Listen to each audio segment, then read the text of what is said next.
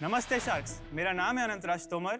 मैं हूँ शिवराज तोमर। मैं हूँ दीपेन बाराई। और मैं हूँ कार्तिकेय लोहार हम फाउंडर्स है एक इलेक्ट्रिक व्हीकल कंपनी के जिसका नाम है मोशन हमारा विजन है नेचर और टेक्नोलॉजी को अलाइन करना और उनकी विशेषताओं का इस्तेमाल करके ऐसे वाहनों का आविष्कार करना। प्रेजेंटिंग मोशन ब्रीज विश्व की पहली अडेप्टिव स्मार्ट इलेक्ट्रिक मोटरसाइकिल हमारी पैटेंटेड एडेप्टिव टेक्नोलॉजी होने के कारण ब्रीज एक ही बटन के दबाने पर राइडर के और पिलियन के पोस्चर और परफॉर्मेंस ज़रूरत और कंफर्ट के हिसाब से बदलने के लिए सक्षम है। उसी के साथ ब्रीज परफॉर्मेंस में हमें दे सकती है 180 किलोमीटर पर आवर की top speed zero to hundred kilometre per hour की स्पीड सिर्फ़ 6 सेकंड में। 250 प्लस किलोमीटर की पर चार्ज रेंज और एक से तीन घंटे का charging time depending on the outlet किस्सा सिर्फ़ यहाँ खत्म नहीं होता।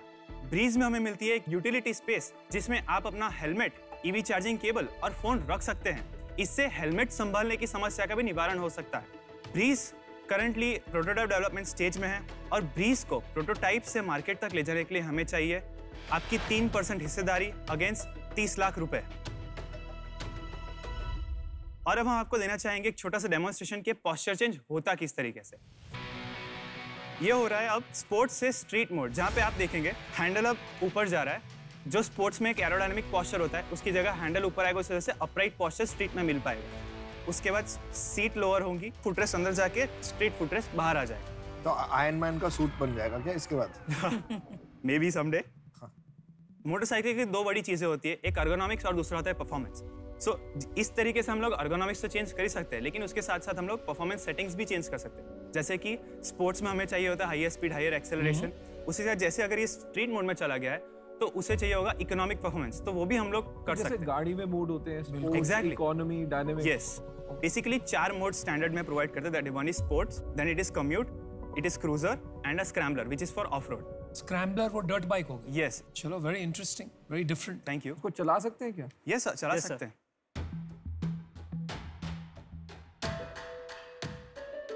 Now you can ride it uh, you can open the throttle easily.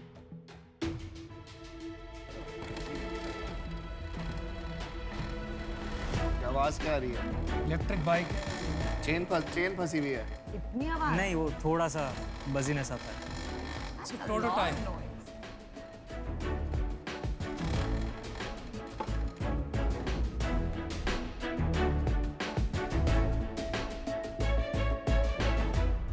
तो ये एक हाई स्पेक इलेक्ट्रिक व्हीकल है। ग्रेट okay, तो आप दोनों भाई हैं लग रहा है? Yes, है हम दोनों ब्रदर्स हैं। और ये दोनों दोस्त हैं? ये मेरे एक कॉलेज फ्रेंड है और ये हमारे मेंटर इन्वेस्टर है। अच्छा जी तो ऑलरेडी आपने इन्वेस्टमेंट ले लिया। ये दिपिन भाई आपको ऐसा क्या लगा कि आपने इन्वेस्ट कर दिया इनमें? मेरा एक दस साल पुराना कंपनी है जिसमें हम multi brand two wheeler service का बिज़नेस है हमारा। अच्छा। हाँ तो पैन इंडिया हमारा एक्सपांसन है। पूरे इंडिया में 180 आउटलेट है तो वहाँ से वहाँ मैं पीच इवेंट में एज ए ज्यूरी था तो मैंने देखा कि इनके आइडिया में दम है। तो मैंने बोला ये बच्चों को हमको हेल्प करना चाहिए और इकोसिस्टम में भी हेल्प करना चाहिए। तो हम वहाँ से उसको अडॉप्ट किया है। कितना पैसा लगाया आपने? अभी तक हमने thirty thirty five lakh rupees लगाया। और कितना इक्विटी लिया आपने? ट्वेंटी सेवन परसेंट इक्विटी हमारे को भी ऐसी डील दिला दो सर बड़े इतने बड़े बड़े प्लेयर्स हैं इस इंडस्ट्री में। यू नो बजाज है हीरो टीवीएस रॉयल एनफील्ड तो आपने चारों एक में कंबाइन करने का क्यों सोचा जबकि हर एक एकदम नीश कस्टमर सेगमेंट है? मैम एक कारण आता है हेल्थ के हिसाब से और दूसरा है यूज़र एक्सपीरियंस के हिसाब से। तो अगर आप में से किसी ने भी टू व्हीलर चलाए होंगे ज़्यादा तो आपको पता चला होगा कि एक लोअर बैक पेन फील होता है। हम रोज़मर्रा में कभी हमको परफॉर्मेंस चाहिए होता है, कभी हमें कम्यूट ज़्यादा करना होता है, कभी हम लोग लंबा भी चला लेते हैं। और एक ही व्हीकल को हम लोग ये सब में यूज़ करते हैं। इस वजह से फटीक और बढ़ता जाता है। हम लोग को तुरंत ये चीज़ इतनी ज़्यादा फ़र्क नहीं पड़ता, लेकिन प्रोलॉन्ग ड्यूरेशन में ये लिम डिसलोकेशन का कारण बन सकता है नमनेस का कारण बन सकता है, थकावट का कारण बन सकता है और एक थका हुआ राइडर खतरनाक एक्सीडेंट्स का शिकार ज़्यादा आसानी से भी बन सकता है। हमने उसके ऊपर और रिसर्च किया कि हमें मोनोटोनस पॉस्चर को ब्रेक करने की ज़रूरत है। तो एक ही मोटरसाइकिल आपको मल्टीपल एप्लीकेशन में कंफर्ट भी दे रहा है। उसी के साथ एक हेलमेट संभालने का भी जो प्रॉब्लम रहता था वो भी हम लोग यूटिलिटी के साथ वो चीज़ को सॉल्व कर पाए थे क्योंकि यार दो टाइप की चीज़ें होती है। या तो तुम बाइक बना लो या गिमिक्स और पॉस्चर पे फोकस पॉस्चर पे फोकस करो।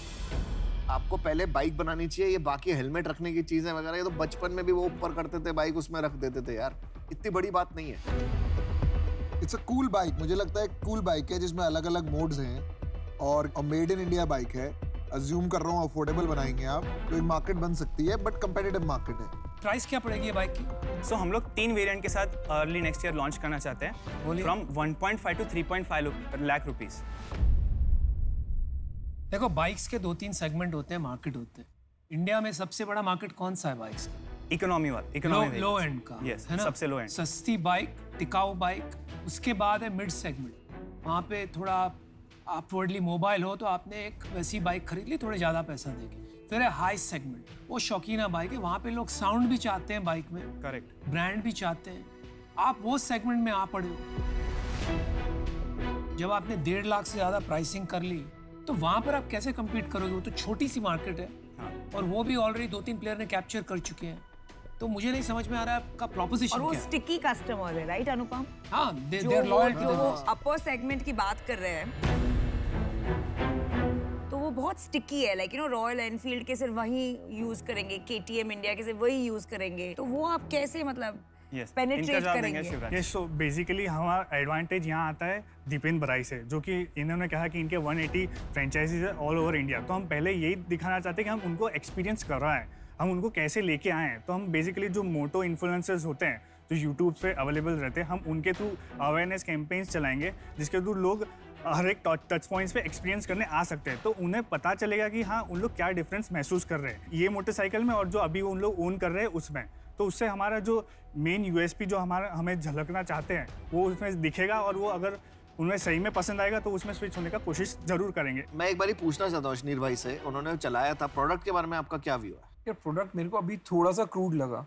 बैठने भी थोड़ा स्टिफ Yes. ज़्यादा है। ये हमारा प्रूफ ऑफ़ कॉन्सेप्ट यानी फ़र्स्ट वर्जन मॉडल है। अभी हम लोग करंटली फाइनल प्रोडक्ट डेवलप कर रहे हैं। और वो साउंड क्या था जो आ रहा था हाँ, आवाज़ so it was the change sound actually अच्छा तो वो चला जाएगा वो चला स्टिफ है जाए की आवाज़ है और ब्रेक भी जो थी Yes. वो थोड़ी ऐसे लग रहा था कि सॉफ्ट है।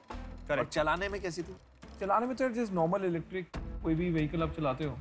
एक्चुअली मेरा डिसीज़न बन गया है मैं अच्छा, बता आप बोल दो हाँ।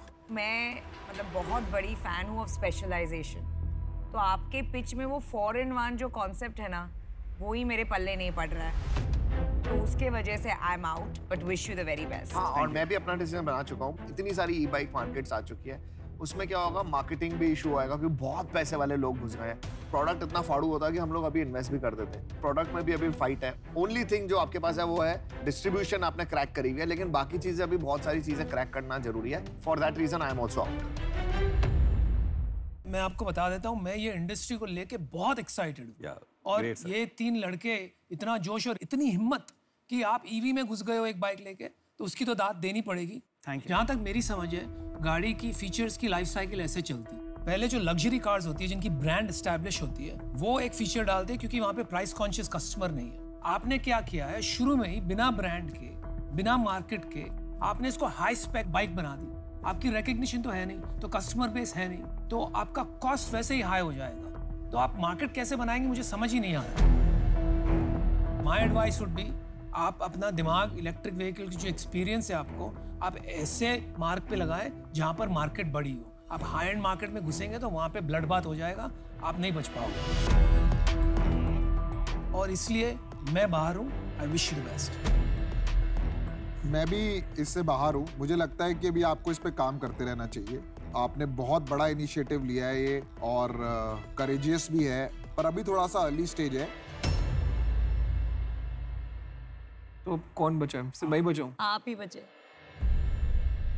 तो यार इसमें मेरे को एक बात बताओ कि बाइक के सिवाय क्या टेक्नोलॉजी है जो तुमने पेटेंट की है? फ्रेम का स्ट्रक्चर और एक्चुएटर्स हमने पेटेंट कर रखा एक्चुएटर क्या होता है? है एक्चुएटर्स वो चीज़ है जो ये हैंडल सीट और फुटरेस को मूव करवा रहे हैं। Right. तो वो चीज़ हम लोग ने खुद इनहाउस डिज़ाइन किया है। उसी के साथ साथ कुछ बैटरी के असेंबली डिज़ाइन हमने पेटेंट करवा रखे हैं। जो इंडस्ट्रियल डिज़ाइन है उसके लिए हम लोग ने डिज़ाइन पेटेंट्स भी करना और मेरे को एक बात बताओ कि इसको आपको कहीं से टेस्ट कराना पड़ेगा ना रोड Yes, के लिए?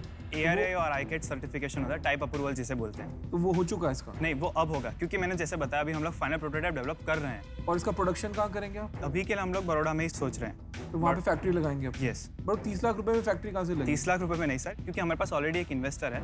तो इनके पैसे से हम लोग फाइनल प्रोटोटाइप को कंप्लीट करेंगे और आपके पैसे से हम लोग इसको सर्टिफिकेशन करवा देंगे। क्या मेरे को एक बात बता कि तुम्हारे इन्वेस्टर हैं बाकी जो भी लड़के आए वो खुद आए। आप इन्वेस्टर को साथ लेके क्यों आए पिच करने के लिए? सर ये सिर्फ़ हमारा इन्वेस्टर नहीं है ये हमारे साथ एक इम्पैक्टिव रोल भी निभा रहे हैं। तो इन्वेस्टर पैसे के सिवाय क्या रोल निभा रहे हैं आप? पैसे के सिवा क्या है कि जो डे इन डे आउट इनमें क्योंकि मेरे मैंने जैसे पहले बताया कि हमारा जो कंपनी है उसमें on board we have a veteran तो उनका 30-40 का इंडस्ट्रीज़ का एक्सपीरियंस है और उनका बहुत सारा एक्सपीरियंस हम यहाँ पे लगा सकते हैं। डे इन डे आउट हम उनको इस तरह से नर्चरिंग करेंगे। तो घूम फिर के बात ये है कि तीस लाख रुपए लेके आपने एक प्रूफ ऑफ़ कॉन्सेप्ट बनाया और एक और तीस लाख रुपए लेके आप सर्टिफिकेशन तक पहुँच जाएँगे। सर्टिफिकेशन हो जाएगा सर उसमें। फॉर एग्ज़ाम्पल एक मिनट के लिए भूल जाओ कि ठीक है सर्टिफिकेशन हो गई नहीं बिक रहा माल। Yes yes. इसमें से ऐसा क्या चीज़ है जिसको आप कंपोनेंट बना के बेच सकते हो? तो सर इसके अंदर सबसे पहले हम लोग हमारे जो जितने भी इलेक्ट्रॉनिक्स कंपोनेंट्स यानी पावर ट्रेन कंपोनेंट्स क्योंकि ये सब हमारा प्रोप्राइटरी हो रहा है तो हम लोग पावर ट्रेन कंपोनेंट्स भी शेयर कर सकते हैं टेक्नोलॉजी फिर हम लोग हमारे एक्चुएटर्स भी शेयर कर सकते हैं हम लोग हमारा जो सीपीयू है वो भी हम लोग शेयर कर सकते हैं। और मैं अगर बोल रहा हूँ कि इन्वेस्टर की नहीं सुननी है तो फिर क्या करोगे?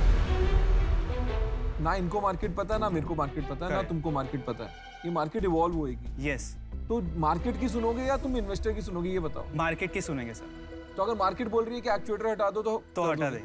और मार्केट बोल रही है सिर्फ़ एक्चुएटर बेचो बाइक हटा दो तो। तो भी हम लोग we have to survive some अगर हम लोग सिर्फ़ एक्चुएटर बेचेंगे तो हमारा भी इवेंचुअली ट्रस्ट बढ़ रहा है। तो एक पॉइंट पे हम लोग व्हीकल से बेचना बेचना शुरू चलो मैं आपको एक ऑफ़र देता हूँ। यस सर मेरे को इंटरेस्ट इसलिए है क्योंकि मेरे को अच्छा लगता है कि इंडिया में कोई इंजीनियर ना प्रैक्टिकल काम करता है। और सबको कंसल्टिंग बैंकिंग की नौकरी चाहिए इंजीनियर बनने के बाद जो कि बहुत ही सैड स्टेट ऑफ़ अफेयर्स है। करेक्ट सर मैं तीस लाख रुपए देने को तैयार हूँ। आपने इसके लिए तीन परसेंट मांगा था। मेरे को छः परसेंट चाहिए। ग्रेट ऑफ़र उसका रीजन यही है अभी इसकी रोड वर्दीनेस भी प्रूवन नहीं है। आपको लग रहा है पास हो जाएगा मेरे को नहीं पता करेक्ट right? मैं भी होप करूँगा पास ही हो जाए। करेक्ट सर अगर फेल हो जाता है तो फिर हमारे को बिल्कुल ही रिविजिट करना पड़ेगा कि है क्या। यस yes, सर दूसरी सिर्फ़ एक कंडीशन ये है। मेरे को इनकी बहुत पूरी बहुत रिस्पेक्ट है क्योंकि इन्होंने भी तीस लाख रुपए आप पे लगाए। कॉलेज के बच्चे पे कोई तीस लाख रुपए नहीं लगाता। करेक्ट सर करेक्ट मैं भी आऊँगा मैं भी लगा रहा हूँ। जब आप फ़ोन करोगे ना कि मेरे को ये हेल्प चाहिए तब हम आपको बता देंगे। राइट सर बट मैं आपके साथ ना पिच में जाऊँगा कभी। में ना मेरे को आपके प्रोडक्ट बेचने का है सब कुछ आपको करना है। श्योर और एंड ऑफ़ द डे अपने आप को एज अ प्रमोटर डेवलप करना पड़ेगा कि मैं फाउंडर हूँ और आप इन्वेस्टर हैं। राइट तो ये मेरा लास्ट ऑफ़र है और एक ही ऑफ़र है मतलब अभी तो फ़िलहाल। सर क्या हम एक मिनट ले सकते हैं? हाँ हाँ। हाँ जी। Thank you very much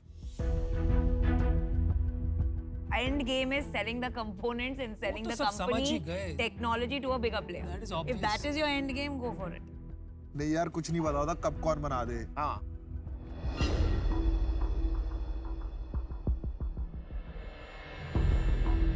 okay shacks तो हमने डिस्कस कर लिया and we are ready to take the deal deal. Thank you very much मेरे को पता क्या लगता है क्या हुआ यहाँ यस सर इन्होंने फीडबैक बाइक अच्छी थी इन्होंने गलत फीडबैक दे दिया हमें। डील मारने के लिए। तो फिर अभी अभी चला के देख ले। गुड जॉब यार good job thank you really proud of you thank you very much sir thank you very much नमस्ते